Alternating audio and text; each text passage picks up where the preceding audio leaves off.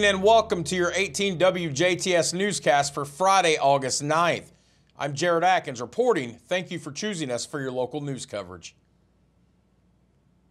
At around 9:48 p.m. on Thursday, officers from the Jasper Police Department conducted a traffic stop at the intersection of US 231 and 12th Avenue. The stop was initiated due to a speeding vehicle. During the stop, officers detected the strong odor of marijuana coming from the vehicle, a green 2007 Jeep Liberty. A search of the vehicle revealed multiple controlled substances, including marijuana, cocaine, ecstasy, and Xanax. The driver, identified as 20 year old Madeline Stiles from Bloomington, Indiana, exhibited signs of impairment. Stiles refused to submit to a chemical test, prompting officers to obtain a search warrant. Upon execution of the warrant, Stiles tested positive for cannabis, cocaine, and benzodiazepines. Stiles was charged with multiple offenses, including neglect of a dependent, excuse me, a level 6 felony, operating while intoxicated, a class C misdemeanor, operating while intoxicated endangerment, a class A misdemeanor, possession of marijuana, a class B misdemeanor, and operating a vehicle with a scheduled 1 or 2 substance in her blood, a class C misdemeanor. A passenger in the vehicle, identified as 28 year old Jarvell Whitfield, also of Bloomington, Indiana, was taken into custody. Whitfield was found to have marijuana and Xanax while being processed at the Dubois County Security Center. He's facing the following charges of possession of cocaine, level 6 felony, possession of marijuana, a class B misdemeanor, possession of a legend drug, a level 6 felony, possession of a controlled substance, a Class A misdemeanor, and trafficking into jail, a level 5 felony charge. Back in April, detectives with the Indiana State Police arrested Matthew Cornelius of Odon, Indiana, for charges of stalking and drug possession. After the arrest, a no contact order was issued through the court against Cornelius for the female victim and her children. After the arrest, the Indiana State Police were provided information that Cornelius had violated the no contact order on multiple occasions. Based on information gathered during the investigation, detectives requested a warrant through Knox County Superior Court. As a result, on August 7th, an arrest warrant was issued for Matthew Cornelius. On August 8th, ISP served the arrest warrant at 115 DeMont Drive in Odon, Indiana, for invasion of privacy. During the arrest, probable cause was found and suspected illegal drug activity inside the residence. A search warrant was applied and granted, and during the search, suspected illegal drugs were located.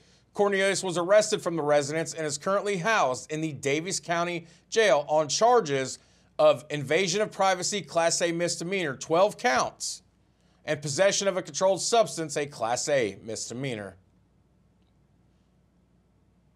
In the early morning hours on Friday, a personal injury accident occurred on Newton Street in Jasper. The incident took place around 12:30 a.m. Friday morning involving two vehicles.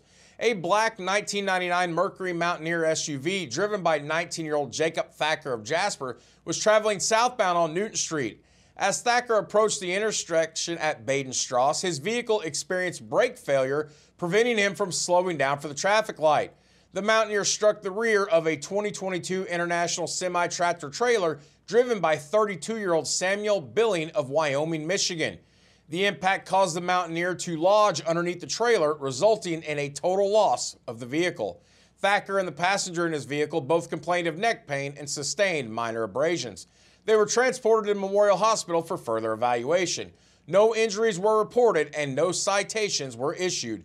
The Jasper Police Department was assisted at the scene by Sternberg's Wrecker Service, ISP, the Dubois County Sheriff's Office, and Dubois County EMS. The Indiana Department of Transportation has announced a road closure for State Road 57 in Gibson County. Beginning on or around Tuesday, August 13th, crews will close State Road 57 in Gibson County near Buckskin. This closure will occur between County Road 900 South and County Road 950 South. This closure will allow crews to perform a culvert replacement project. Work is expected to last two days, depending upon weather cooperation. The official detour is listed as State Road 168 to I 69 to State Road 68. Local traffic will have access up to the point of closure. The Crawford County Fairgrounds took to social media Wednesday evening to thank the Crawford County Highway Department for the fresh makeover the entrance had recently received. The entrance to the fairgrounds had needed repaired for some time. The new look is smooth, paved, and most importantly, pothole free. The Crawford County Fairgrounds are located on Indiana 66 in Marengo, directly across from the Crawford County Junior Senior High School. You can visit their Facebook page to stay up to date on all the happenings year round at the Crawford County Fairgrounds. The Jasper Police Department is inviting you and your family to the Public Safety Community Day, a free and fun filled event that offers a unique opportunity to connect with local public safety personnel. The event will be held on Wednesday, August 28th from 4:30 to 7:30 p.m. over at the Uebelhor & Sons Toyota Field located at 788 West 12th Avenue. This event promises an exciting array of activities including canine demonstrations, a dedicated kids zones, police and fire obstacle courses, interactive vehicle displays, a lifeline helicopter landing, an airsoft station, water balloon fight, and much more. Free food will be provided for all attendees. Don't miss your chance to engage with your local police, fire, and emergency services in a fun and interactive setting. This event is open to everyone. And you can mark your calendars for a feel good event coming up in November across not only the Hoosier State, but the entire nation. During a time when many are preparing for the upcoming school year, families are using back to school sales to fill shoebox gifts for a Samaritan's Purse event called Operation Christmas Child. Operation Christmas Child gives people the opportunity to pack shoebox gifts each year to bless children in need around the world. Parents often use the project to teach their kids about giving. Children in over 100 countries will be gifted these shoeboxes filled with supplies like pencils, crayons, notebooks, personal care items, and fun toys. The National Collection Week for Operation Christmas Child is held from November 18th through the 25th. For more information, please visit SamaritansPurse.org. Alassi is thrilled to announce the upcoming 11th annual Latino Culture Fest set to take place on August 30th and 31st at Market Street Park in Huntingburg. This festival celebrates the rich and diverse cultures of Latin America offering a day full of music, dance, food, and community. The 11th annual Latino Culture Fest is a family friendly event that invites everyone to immerse themselves in the vibrant traditions and customs of Latin American countries. Attendees can look forward to live entertainment, authentic Latin American cuisine, cultural arts and crafting, family activities, and community resources. Admission to the Alassi event is free and all are welcome to attend. They are encouraging everyone to join them for a day of celebration and community building. The festival runs from 4 p.m. to 11 p.m. on Friday, August 30th, and 11 a.m. until 11 p.m. on Saturday, August 31st.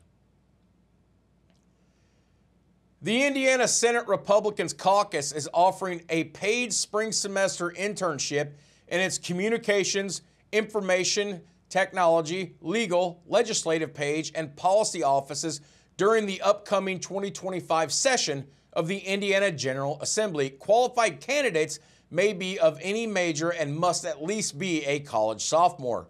Recent college graduates, as well as graduate and law school students, are encouraged to apply. Interns earn a $900 biweekly stipend and benefit from scholarship and academic credit opportunities, professional development, community involvement, and networking. Senate internships are full time positions at the State House in downtown Indianapolis that typically begin with a mandatory orientation in late December or early January and conclude at the end of the legislative session in April of 2025. For more information, please visit IndianaSenateRepublicans.com. And that's been a look at your local news here on 18 WJTS. We'll be right back with a check of your forecast.